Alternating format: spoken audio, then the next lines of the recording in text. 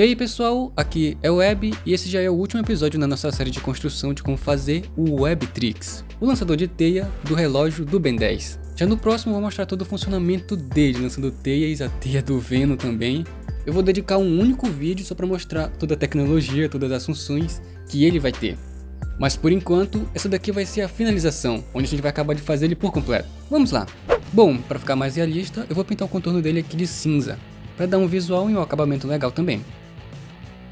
E olha só, bem mais bonito.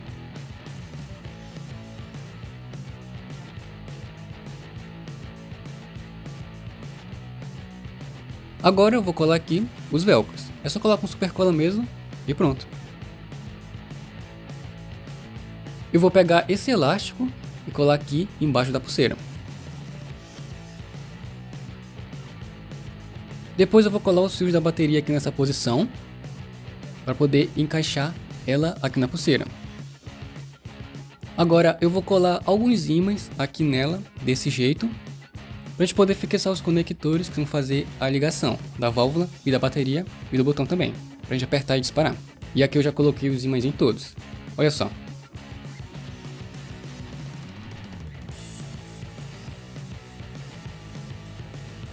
E para os botões eu vou colar os dois aqui desse jeito e juntar aqui os fios para eles ficarem organizados.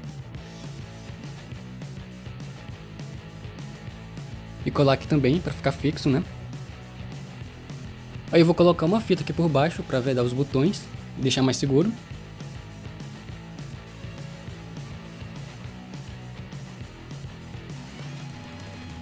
Depois só colar eles aqui na pulseira.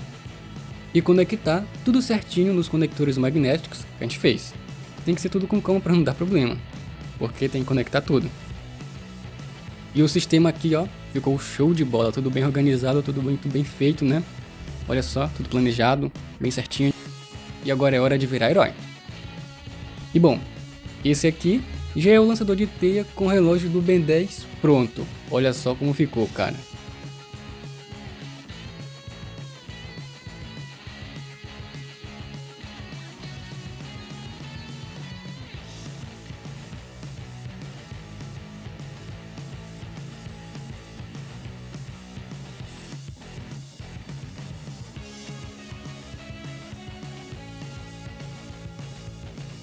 Ele brilha no escuro, sem LED, olha essa tecnologia. Não precisa nem de LED, não precisa nem gastar bateria, que vai ligar a válvula, que vai lançar a teia para fazer ele brilhar.